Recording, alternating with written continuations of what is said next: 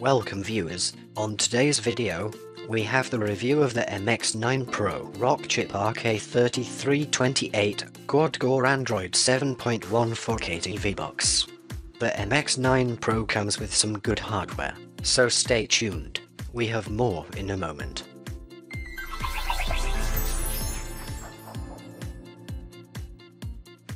So I'm back, and here we have the box that the device comes in. There's some information here at the bottom which says that the CPU is the RK3328 quad-core 64-bit Cortex A53.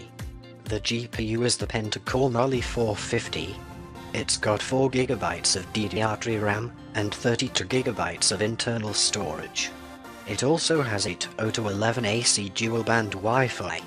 So that's some decent specs for you right there, and I'll just take a moment to do a quick unboxing.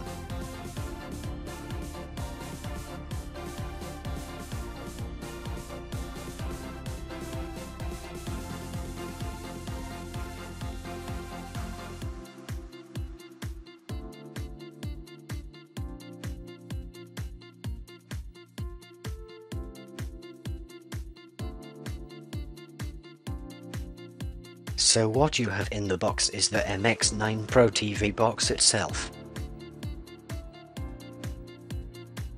You have this remote control.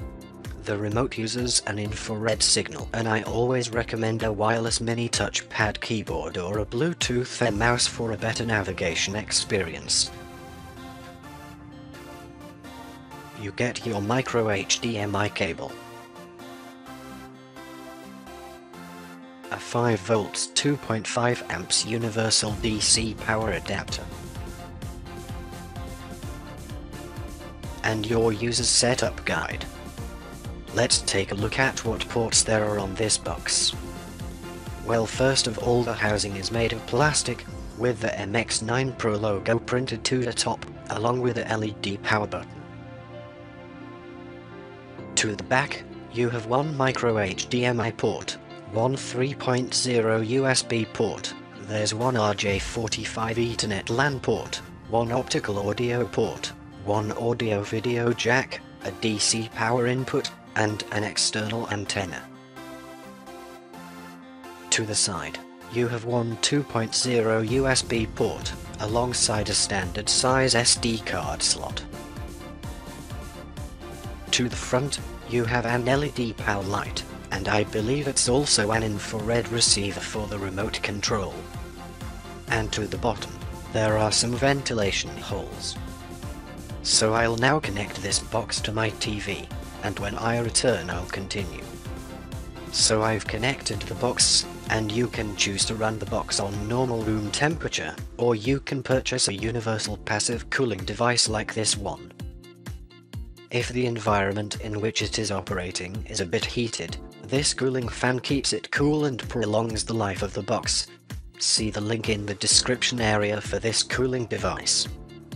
So here we are at first start and as you can see it starts with a short animation and then you're taken to this setup wizard.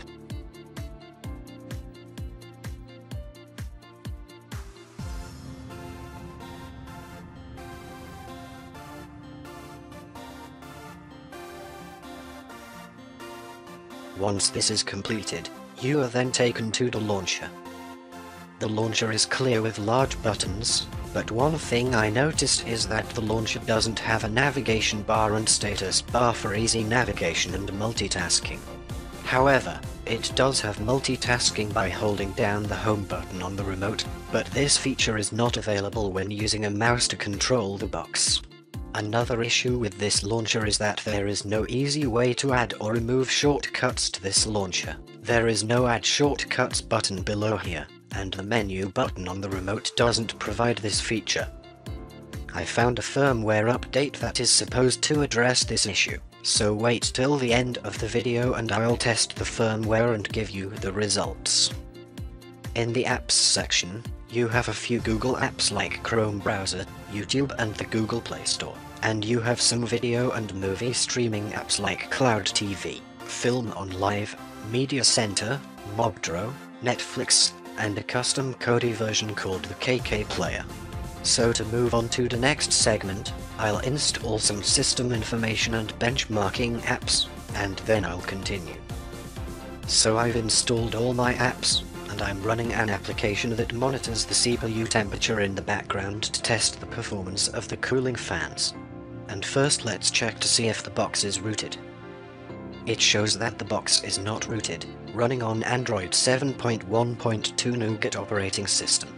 This means that the box is restricted to those apps that don't require root access to work.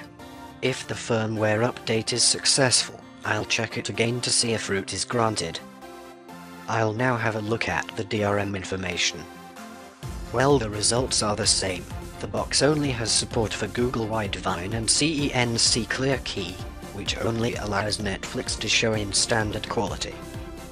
And now some system and hardware information.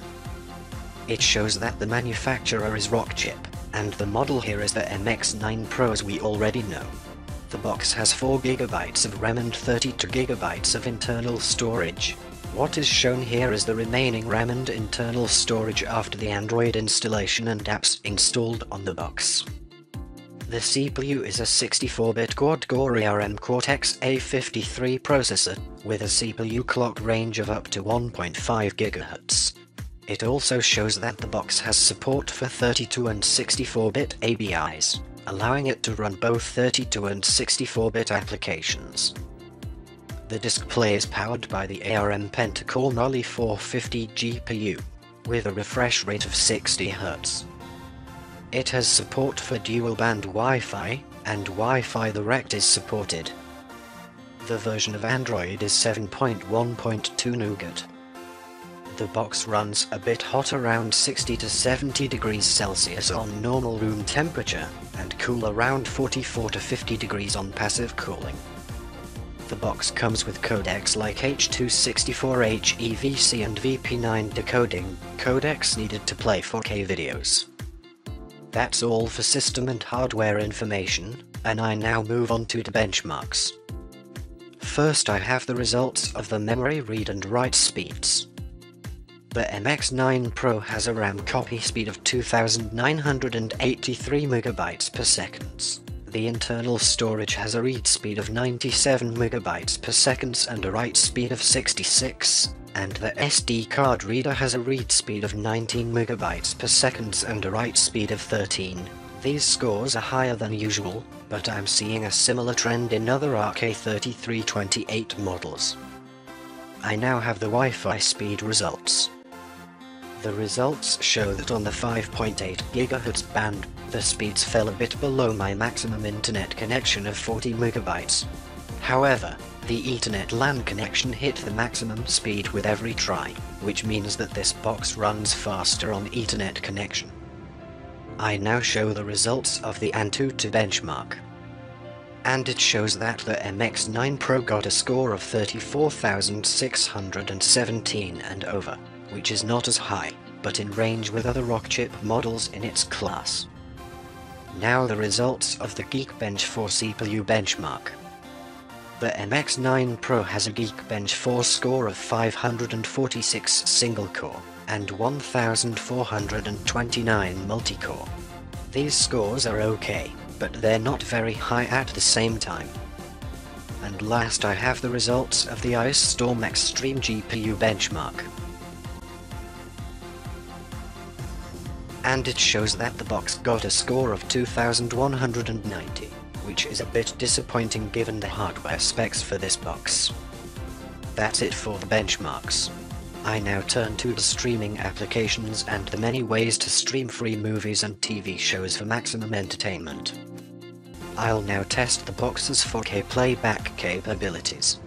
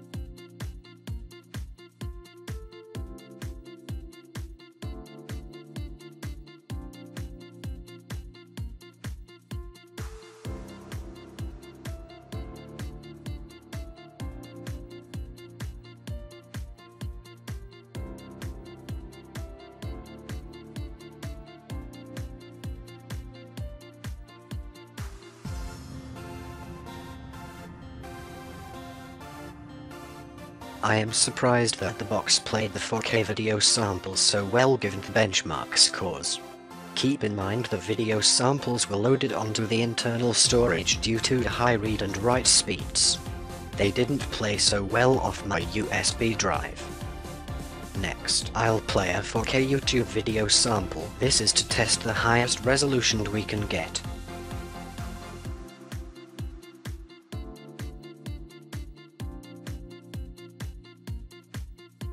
Well it shows that the highest YouTube quality is up to 1080p resolution. For my final test, I'll run a game that's compatible with gamepads due to the box not being rooted.